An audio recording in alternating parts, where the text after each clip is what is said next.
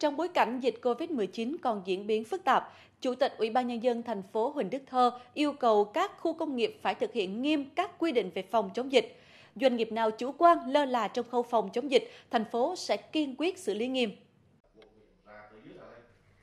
Theo đó, phát biểu chỉ đạo tại cuộc họp trực tuyến Ban chỉ đạo phòng chống dịch COVID-19 thành phố với các quận huyện mới đây, Chủ tịch Ủy ban Nhân dân thành phố Huỳnh Đức Thơ cho rằng, công nhân tại các khu công nghiệp của thành phố cũng là những đối tượng cần quan tâm kiểm tra giám sát về điều kiện lao động, điều kiện thực hiện quy định về giãn cách, vệ sinh an toàn thực phẩm trong giai đoạn hiện nay.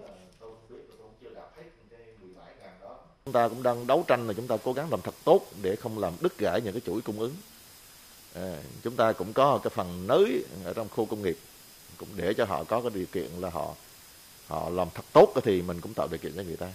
Tuy nhiên là chúng ta không phải vì thế mà mà mình du dây cho họ trong cái tình cảnh nó rất nguy hiểm hiện nay. Đó là nguyên tắc rồi mình biết đâu là cái ranh giới giữa cái cái việc mình tạo điều kiện và đâu là cái ranh giới của cái lúc mà nó khẩn cấp nó nguy hiểm là không thể được. Đây bây giờ không nói là tạo điều kiện nữa mà phải chấp hành theo chỉ thị của thủ tướng thôi. Là phải dừng thôi.